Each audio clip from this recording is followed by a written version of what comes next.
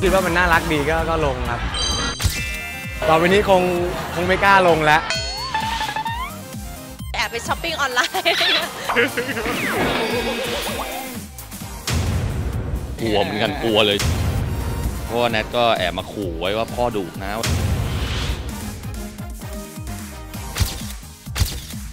สนับสนุนโดยบริษัท PTT Global Chemical จำกัดมหาชน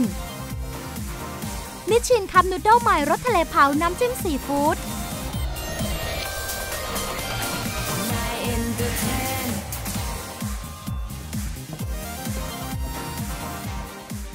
สวัสดีค่ะ ขอต้อนรับคุณผู้ชมเข้าสู่ Nine Entertain Night Live นะคะ ได้เวลาอัปเดตข่าวบันเทิงก่อนนอนกับเราสองคนแล้ว วันนี้นะฮะมีหลากหลายข่าวมาให้อัปเดตกันเลยครับ เริ่มกันด้วยไม่ว่าจะเป็นเรื่องน่ายินดีของสาวเปาปาวลีค่ะเตรียมตัวสละโสดแล้วนะครับอืมส่วนอีกคนนึงคนนี้เขาสยบข่าวเพ่อตาไม่ปลื้มพี่เจ๋งบิ๊กแอสเห็นว่าดอดไปพบคุณพ่อแหลมของสาวแนทแล้วล่ะอ่ารวมถึงคนนี้ด้วย แพนเค้กอยากรู้ไหมคะว่าเดือนเดือนหนึ่งเนี่ยแม่หน่อยนวลนง ให้เงินเดือนแพนเค้กเท่าไหร่ต้องไปถามเจ้าตัวกัน แล้วก็เฮียเวียร์ค่ะ คนครับ อวดแฟนคนนี้นะคะ เขาบอกมาว่าจะเพลาๆเบามือลงรูปแม่นายเบลล่าแล้วทำไมล่ะไปถามพี่เวียร์ดีกว่า แต่ก่อนอื่นเราไปที่พี่เสกโลโซนะคะ ถูกศาลสั่งจำคุกแล้วเมื่อเช้านี้ค่ะเ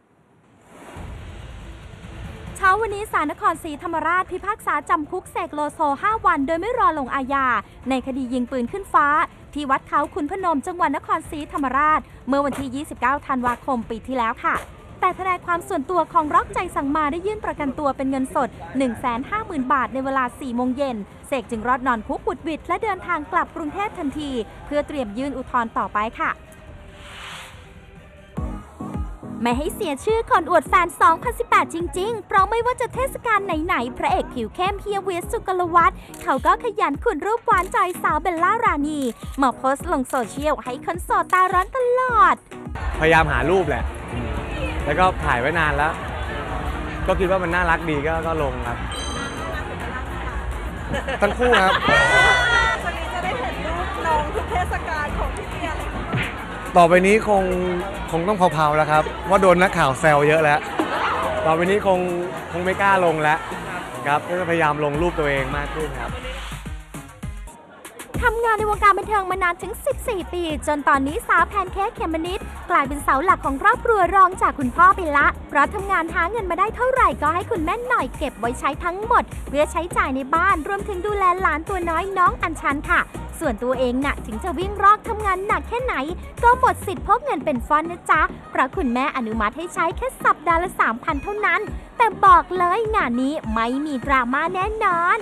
จริงๆมันก็มีข้อดีตรงที่ว่าเราก็จะไม่วู่วามในการซื้อของอะเนาะอย่างน้อยเราก็ยังแบบว่ามีคนคอยแบบ คานมานิดนึงว่าอันนี้โอเคไหมอันนี้ได้ใช้ไหมอะไรอย่างเงี้ยค่ะ แม่ก็ยังคงแบบคอยถามกันตลอดแบบนี้แต่ถ้าอันไหนที่โอเคดูสมเหตุสมผลแม่ก็จะบอกอะซื้อเลยอะไรอย่างเงี้ยจะแบบว่าเวลาทำงานอะไรเงี้ยค่ะพอมาแล้วก็แม่ก็จะแบ่งมานิดนึงโอเคสามพันก็คือให้ลูกเก็บใส่กระเป๋าไว้แต่ซึ่งจริง ๆ แล้วอะเราก็อยู่ด้วยกับแม่ตลอดอยู่แล้ว พี่สาวก็อยู่อะไรเงี้ยค่ะเพราะฉะนั้นคนที่บางทีจ่ายให้เราอะเราก็แทบไม่ได้ต้องจ่ายอะไรอยู่แล้วอะไรอย่างเงี้ยนอกจากแอบไปช้อปปิ้งออนไลน์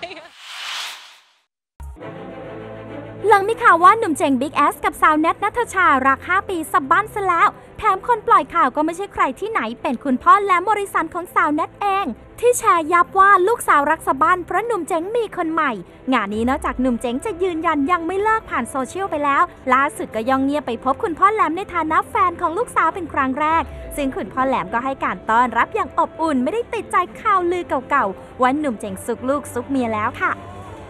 ตอนแรกก็เก่งเก่งกลัวเหมือนกันกลัวเลยใช้คำว่ากลัวเหมือนกันเพราะว่าแนทก็แอบมาขู่ไว้ว่าพ่อดุนะผมตอนนี้พิสูจน์ตัวเองได้นะคือแต่ว่าเราเราเป็นอย่างนี้หมดอยู่แล้ว แล้วเราก็ไม่ได้มีเรื่องว่าไปซุกลูกซุกเมียอะไรอย่างที่ตามที่ทุกคนไปพูดอะไรกันจนพ่อเขาแบบคิดว่าเฮ้ยเรามีลูกมีเมียแล้วมาหลอกลูกสาวเขาเงี้ยมันมันก็ไม่ได้เป็นอย่างนั้นนะ ห็นแหวนบนนิ้วนางข้างซ้ายของนักร้องเสียงเนอร์เปาเปาวลีวัย 26 ปีแบบเนี้ย ใช่แล้วจ้านางโดนตีตราจองโดยแฟนหนุ่มเอิร์ธลูกชายซูโมกิกที่คบกันมา 7 ปีละ เขาคุกเข่าขอแต่งงานกันไปเมื่อปลายปีที่แล้วแถมผู้ใหญ่ทั้งสองฝ่ายก็เจรจาสู่ขอกันเรียบร้อย ซึ่งก็ตั้งใจว่าจะจัดงานแต่งทั้งที่กรุงเทพและสุพรรณปลายปีหน้าค่ะตอนแรกโอ้โหแม่ห่วงห่วงมากค่ะครอบครัวค่อนข้างห่วงเพราะว่าเราเองก็เป็นเสาหลักเนาะแล้วพอมาวันนี้ก็ เราก็เหมือนโตขึ้นอีกสเต็ปหนึ่งแม่ก็เข้าใจค่ะอืมคุณย่าของเอิร์ธเขาก็มาคุยอะไรเงี้ยค่ะ ซึ่งก็ผ่านไปได้ด้วยดีเขินกันทั้งคู่ค่ะ เพราะว่าเขาก็เป็นลูกคนเดียวด้วยอย่างเงี้ยค่ะ แล้วเราก็เป็นลูกสาวคนเดียวของบ้านเนี้ยก็ตั้งคนตั้งเขินว่า พูดกันไม่ออกอะไรเงี้ยตื่นเต้นค่ะ เพราะว่าครอบครัวทั้งสองครอบครัวคือ ส่วนใหญ่จะเจอกันตามรายการที่แบบไปออกของรายการเขาอะไรเงี้ยค่ะ ก็จะพันผ่านกันไม่ได้คุยกันมากมาย แล้วก็ยังไม่ได้มีโอกาสมากินข้าวเลยอะไรเงี้ยแล้วก็พอวันที่ได้ไปคุยจริงๆค่ะก็รู้สึกเขินกัน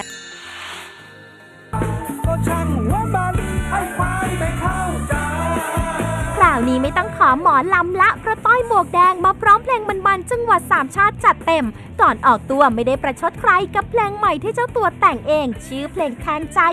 สายควาย มาม้วนบนเวทีเฮสนันล้านทุ่ง พร้อมฟังจากปากชัดๆ ถึงข่าวลือว่า ขายบ้านเพื่อทำเพลง อ้าวจริงหรือมั่วพรุ่งนี้ห้ามพลาด 11โมงตรงช่อง9 m c o t HD นะจ๊ะอะพรุ่ง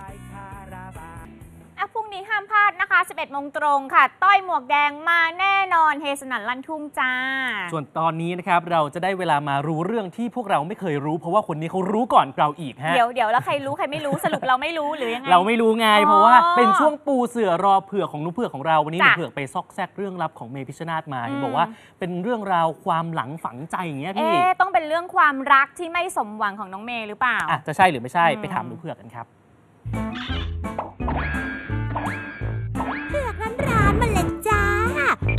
ปูเราเผือกกันยัง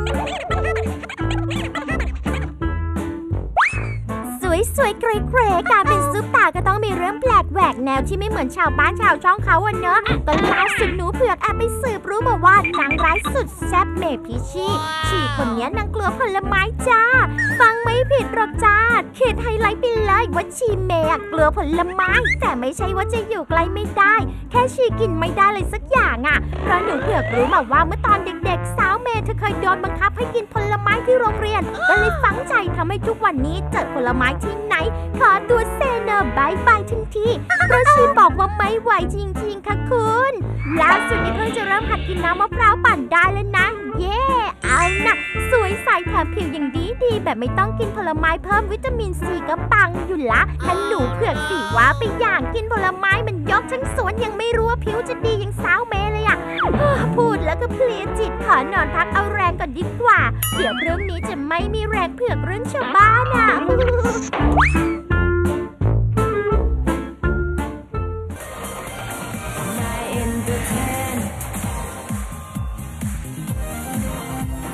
ลับมาช่วงนี้นะครับ ได้เวลาของฮอตออนไลน์ของเราค่ะ เรามาพร้อมกับเรื่องราวของพี่หมื่นโป๊บเดี๋ยวก่อนทำไมตอนเนี้ยพี่หมื่นเขาอวยยศเป็นท่านขุนแล้ว เอาเหรอ แน่นอนเพราะฉะนั้นนะคะ เดี๋ยวแม่หญิงฝนจะเล่าเรื่องนี้ให้ฟังค่ะ ไปดูดีกว่าอืค่ะมนี่นะจะบอกให้ว่าตอนนี้นะคะ พี่หมื่นของเราเนี่ย fever มากอ๋อโดยเฉอ๋อพาะอ๋ออ๋อถอดเสื้อด้วย ถูกถอดเสื้อด้วยแล้วเมื่อวานเนี้ยมันมีช็อตหนึ่งที่พี่หมื่นบอกให้แม่นายเบลล่าเนี่ยไปอืมดูคันฉ่องซิอ่าอะไรอย่างนี้แล้ววันนี้ก็เป็นแบบว่าเรื่องราวที่เกิดขึ้นในโลกออนไลน์ ซึ่งฮอตมาก ๆ เลย พี่หมื่นค่ะ ก็หยิบคันฉ่องที่บ้านตัวเองมาส่องแล้วถ่ายเซลฟี่แบบนี้นะ แล้วก็พร้อมกับ เอ่อเปลือยเปลือยเขาเรียกนะ เปลือยด้านบนเชิร์สเล Topless แบบนี้ Topless ท็อปเลสนะคะ ให้เห็นไหล่ขาวๆ เนียนๆ แล้วก็เอ่อแคปชั่นว่ากระจกที่บ้านอ๋อเจ้าชัดดีอยู่หรือ แต่บ้านพี่มีชัด เพิ่งตื่นครับผม โอ้โห เป็นไงล่ะ แคปชั่นแบบนี้มี ภาพแบบนี้ มีความยั่วมาก ก็เลยทำให้สาวเล็กสาวใหญ่นะคะกันหน่ำตอบคอมเมนต์กันไปนะคะว่า นี่มาดูกันให้ให้ข้าข้าไปไปเช็เช็ดดให้ให้ไหไหมมล่ะคะท่านพี่หมื่น ชัดมากเจ้าค่ะคุณพี่ชัดในใจเออมาส่องที่บ้านน้องก็ได้นะอ่ารักคุณพี่เหลือเกิน คันสองท่านขุนเล็กจุงโอ้คุณพี่ขาหัวใจน้องจะวายนี่แล้วก็มีฮ่าฮ่าฮ่าด้วย ทุกคอมเมนต์ต้องหลบให้กับแม่นายตัวจริง แม่นายการะเกดนะคะ ทีมมาขอแจมด้วยนะ นี่ไงนะ บอกเลยค่ะว่า โธ่เอ็นดูสภาพคันสองบ้านคุณพี่ น้องซื้อให้ใหม่ดีหรือไม่เจ้าคะเป็นไงล่ะเขาน่าก็มีรักการกันแซแบวบนี้แซวกันไปแซวกันมาเขามีการแซวกันคือจะไม่ให้พวกเราจิ้นกันได้ยังไงเนื้อออกน่ารักใช่เนอะเออเออเขามีกระซิบหูกันเมื่อคืนเนี้ยอืมนี่ดูทุกตอนใช่ไหมฮะแล้วแล้วก็ขนลุกกันไปอะนะมาต่อกันที่อีกหนึ่งเรื่องราวและการเป็นเรื่องราวการเปลี่ยนลุคของสาวใหม่ดาวิกาค่ะภาพมาเลยครับ นี่เลยฮะ เปเป็นทั้งนางเอกในจอและนอกจอจริง ๆสำหรับสาวใหม่ดาวิกานะครับ เธอยอมหั่นผมยาวสลวย 30เซนติเมตรครับพี่ฝนเพื่อที่จะบริจาคให้กับผู้ป่วย ค่ะที่สูญเสียผมจากการรักษาโรคมะเร็งครับ ค่ะ เธอก็ขึ้นข้อความในโซเชียลบอกว่า